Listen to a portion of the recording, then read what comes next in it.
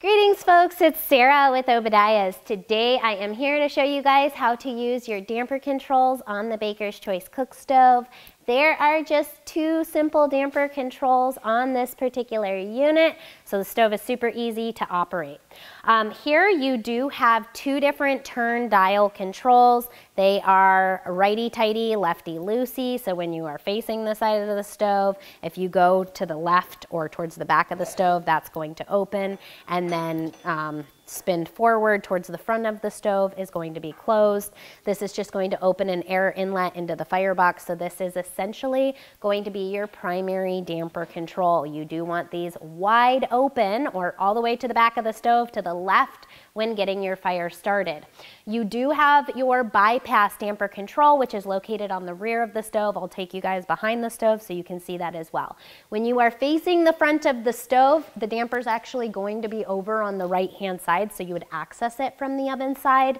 And when you're standing facing the, the front of the stove, you reach your hand to the right and you pull it all the way to the right hand, that's going to be wide open. Pushed all the way in is going to close that bypass damper. Again, when starting your fire, you always want that bypass damper wide open so that your smoke can exit the chimney. I recommend burning your fire good and hot for at least 30 to 40 minutes before you go to adjust that bypass damper um, when you're first getting that fire lit to make sure that you have a good hot fire and clean smoke circulating around the oven.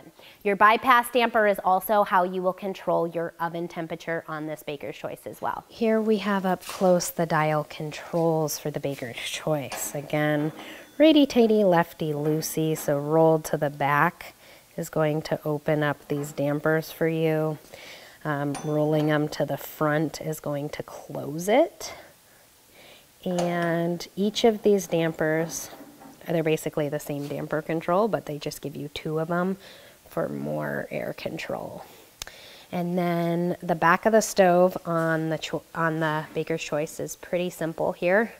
Um, here's your oval to round adapter. This comes with the stove. This is a single wall adapter. And then you do have your simple bypass damper. Again, pulled out, open, pushed in is going to be closed. So I hope you guys found this video helpful on how to use your damper controls on the Baker's Choice cook stove. As always, if you guys like these videos, please give me that thumbs up. Click the subscribe button in the corner of the channel. Thanks so much for watching. Have a wonderful day.